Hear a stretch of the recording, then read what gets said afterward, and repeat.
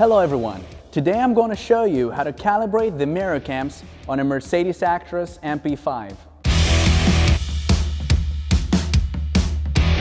This brand new technology, introduced by Mercedes-Benz, gives the driver excellent rear visibility, not only improving safety, but also saving fuel thanks to improved aerodynamics. In this type of installation, the rear view mirrors are replaced with two cameras, one on each side, and two monitors in the driver's cab. Like all new driving aid technologies, MirrorCams also need the support of a diagnostic tool to verify their status and for possible calibration after replacement or for a simple check.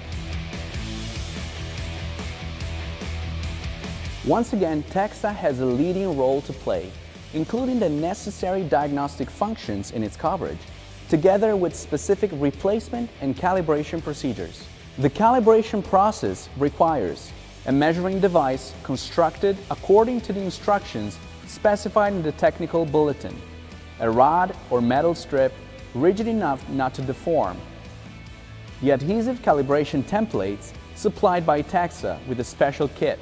Before proceeding, make sure that the vehicle is parked on a flat surface the steering is in the straight line position, the cameras are in the extended position.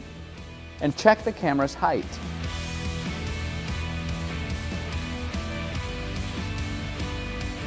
Don't forget you must always calibrate both cameras. Proceed by placing the measuring device behind the tires on the first axle.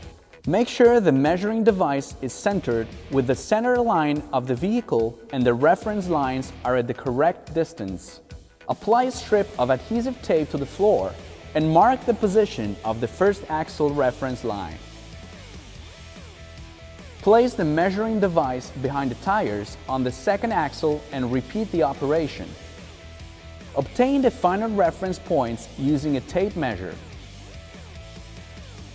Apply a strip of adhesive tape to the floor and mark the position of the final reference points. Now apply the adhesive calibration templates to the rear view mirror monitors. Connect the Navigator TXT-S and connect to the desired system via IDC5 truck. Follow the instructions shown on the screen to perform the calibration procedure. During the procedure, the camera will frame the final reference point position on the ground, which must be aligned with the scale on the adhesive calibration template.